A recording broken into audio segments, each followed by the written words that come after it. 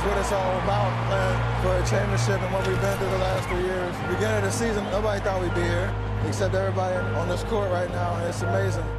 And what you appreciate about the journey is the people that you go through it with. It wasn't just the work we put in last week. It wasn't the work we put in a month ago. It was the work that we started once we changed buildings, trying to carry that championship DNA with us. The Warriors dynasty Yes. It's over for them. They have no path forward. We hear all the chatter. At the end of the day, it's about what we do on the floor. Ain't got to talk about it, just got to go do it. It's really special to see just how far they've come. It takes a, a full team effort to do this. And strength of numbers is alive and well. I thank God every day that I get to play this game at the highest level with some amazing people. It's over. Of the NBA world. The Dubs dynasty is still very much alive. I'm trying to be clever. I can't even be clever. This is amazing. This is freaking amazing, man. Keep your head down, keep working, keep walking in your purpose, and get the second. And now the Golden State Warriors.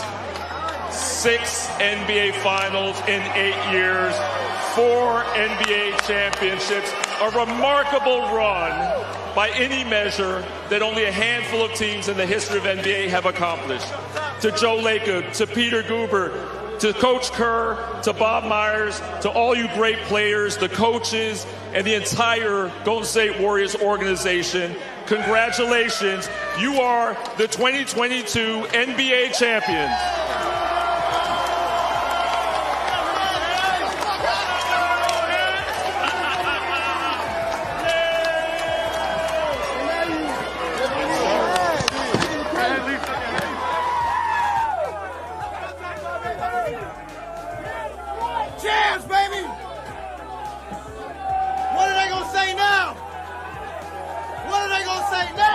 To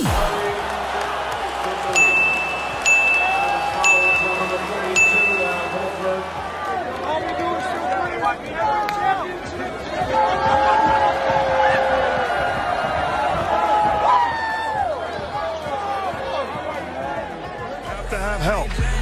And like I said, looking for the ring. Number.